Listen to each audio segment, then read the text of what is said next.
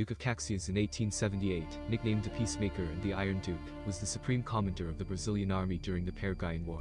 He is regarded as one of the greatest minds in military affairs in South America history.